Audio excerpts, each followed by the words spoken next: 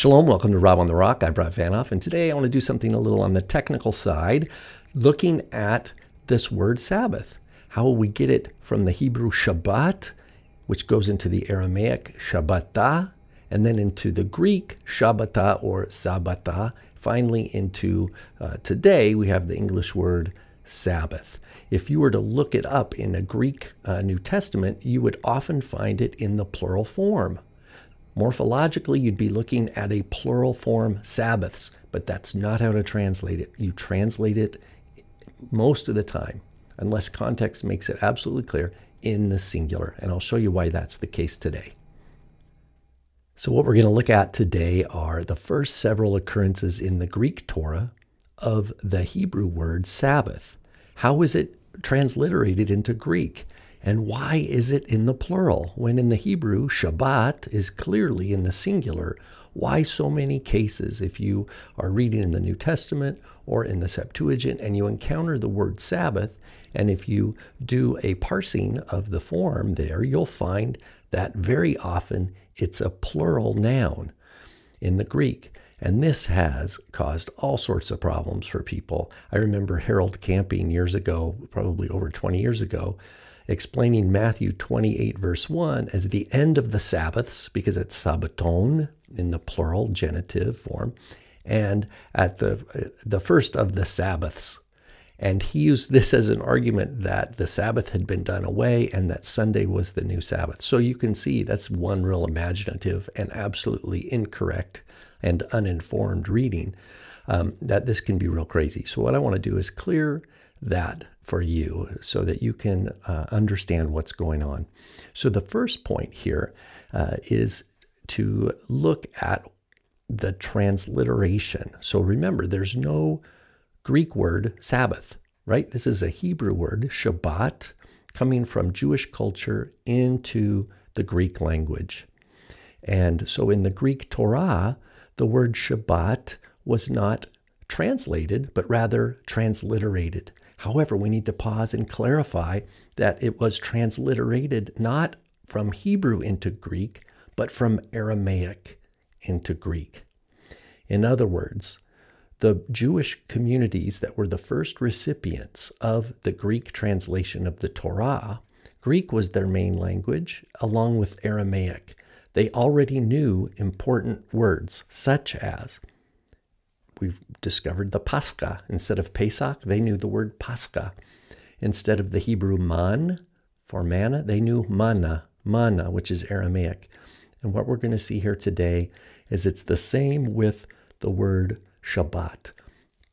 It's not the word Shabbat that comes into Greek uh, through transliteration, but the Aramaic word Shabbatah. Shabbatah. This is right in line with uh, many other Aramaic phrases that come into the Greek rather than Hebrew into Greek. So, my first point here is in the ancient Greek Torah, uh, Shabbatah. Now, remember, in Hebrew or Aramaic, we see the shin and we say a sh sound. Uh, in Greek, there is no sh letter, so they used the sigma. But because they understood what the sigma stood for, they knew that this was a sh sound, not a s, even though through uh, uh, its transmission in Western languages, we learn it as a S, Sabbath, Sabbata. But if we go back in time, they're going to be saying Shabbata because they knew what this was. If we look at the Greek of Shabbata, which is just an absolute wonderful transliteration, accurate translation or transliteration of the Aramaic Shabbat, Shabbata in Aramaic becomes uh, Shabbata in Greek. It is a neuter plural. It looks and sounds like in the Greek language a neuter plural. So, but it's a singular. It's singular in Aramaic, Shabbata. But in Greek grammar, a noun is required to have certain forms. And for one, Greek does not like nouns that end in the letter tav. Rather, it wants to end in a vowel if there's a tav, or the tav will drop off altogether. And then there's different case endings. So there's a lot of technical info here uh, pertaining to how the Greek language works that if you haven't taken Greek, um, would be a rabbit trail for me to get into right now. But what you're going to find if you look in the Gospels, for example, Matthew 28 1, and it says, uh, Te miaton sabaton, you're going to look in a lexicon or, or an analytical um, uh, tool, and it'll say this is a plural. And so you're going to be thinking, oh, plural, this means Sabbaths. That's not what it means at all. I'm trying to give you the background for what's going on here.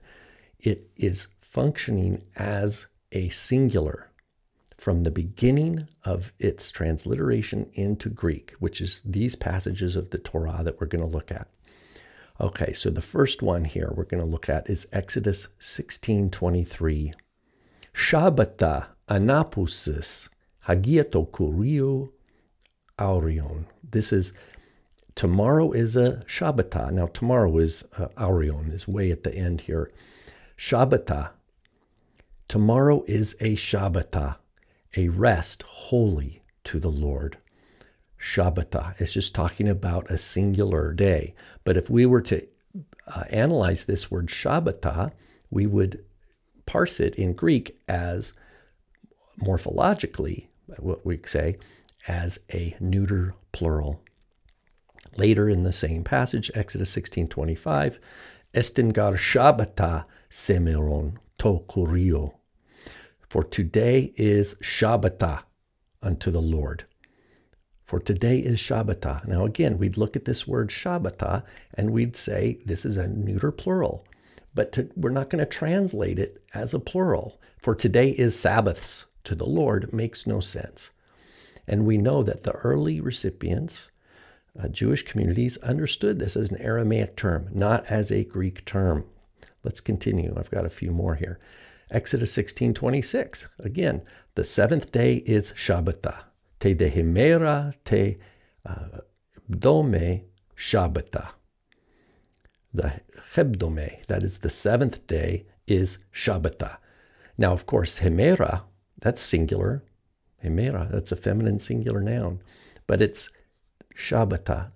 So again, we, if we wanted to look at the parsing, technical Greek parsing of Shabbata, we would say this is a neuter plural but it's clearly a singular by meaning contextually. The seventh day is Shabbata, not Sabbaths, plural. That would be silly. Let's continue. Exodus 16:29, still in Exodus. This is when God reveals the Shabbata and the manna. So we have two Aramaic terms actually being given together in the Greek Torah, manna and Shabbata. They're both given in the wilderness. Exodus 16.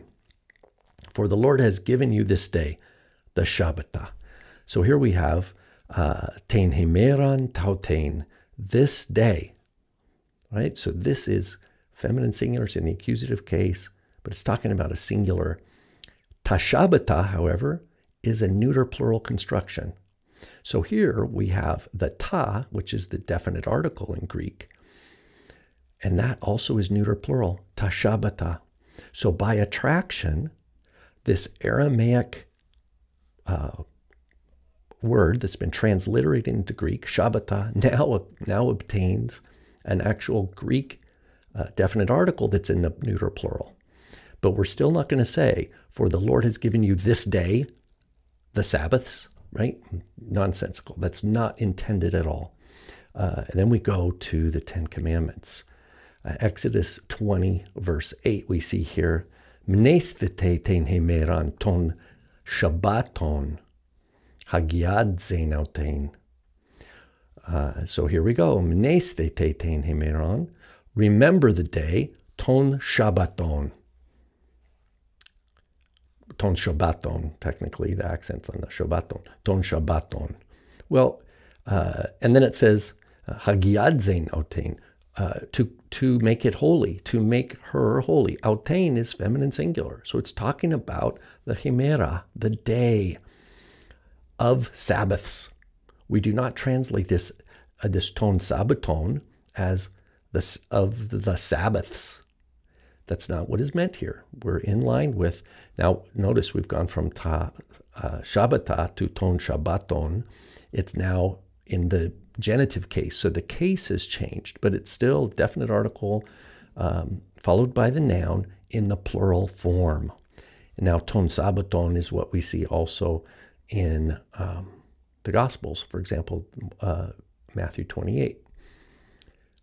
Then we have Exodus 20, verse 10 is the last one I have here to look at. The seventh day, there is Shabbata to the Lord your God. I probably should say there is a. Te dehemera te hebdome Shabbata kurio to teosu. The seventh day, there is Shabbata. So again, we've seen in all these instances the introduction of a new term for the Greek audiences and written uh, in the Greek letters, but it's an Aramaic word already known by the audience. So they weren't being confronted with a new Greek word, but rather a, a word they already knew the word Shabbat in Hebrew or Shabbata in Aramaic. So this video here, I just wanted to show quickly why when you find the word Sabbath, particularly in the New Testament, if you do the lexical analysis, you're going to see that it comes up most of the time in a plural form, but the translation will be singular. Translation will be singular. And that is because this is a transliterated word from Aramaic into Greek. And when that happened, it started functioning because the Aramaic word in Greek sounded like a neuter plural noun in the Greek language because of that ta ending. And so it was treated that way uh, grammatically. But in terms of meaning, the, unless the context makes it absolutely clear, we're dealing with uh, the plural analysis of a, or parsing of the Greek word, but yet we're going to translate it as a singular. Shalom.